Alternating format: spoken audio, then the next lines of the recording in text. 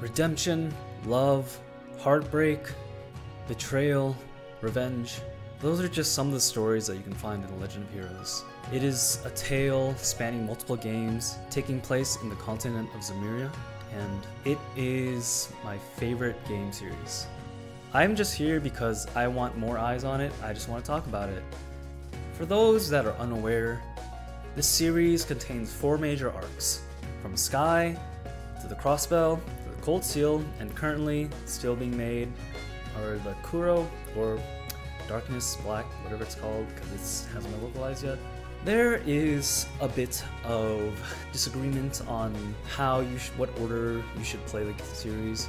And the most obvious that everyone says is play the games in order. And I mostly have to agree with that, but I actually didn't. I started with the Trails in the Sky series, and I don't regret it, but instead of playing Crossbell next, which is the next arc after Trails in the Sky, I played Cold Steel first. And I would I would say playing the Cold Steel arc before the Crossbell arc didn't really affect my experience much. In fact, it made me enjoy the Crossbell arc even more.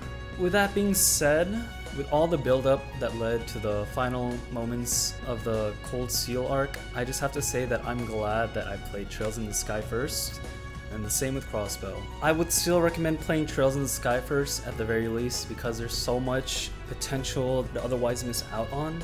But if you can't bring yourself to do that, play Cold Steel first. That is what many say is a great entryway too, but only play the first two games because that's where nothing's really spoiled. Maybe some things here and there, but nothing that'll really affect your experience.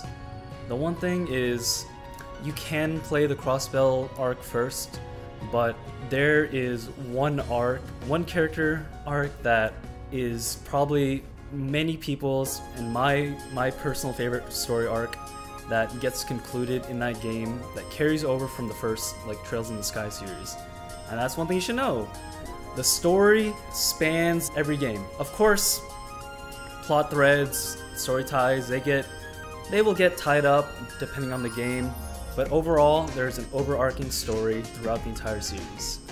Personally, my favorite game is still Trails in the Sky second chapter. The characters in there, the world, the build up, straight masterpiece.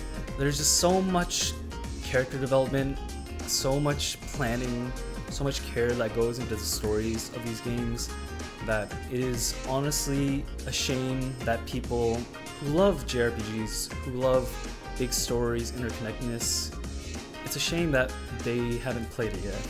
Of course, this is a big undertaking, there's a lot of games, and if you don't have the kind of time, that's understandable, but, but, if you're that kind of person looking for a series, a game, anything to just sit down, relax, get into, lose yourself in the world, learn about everything and everyone because it's so captivating.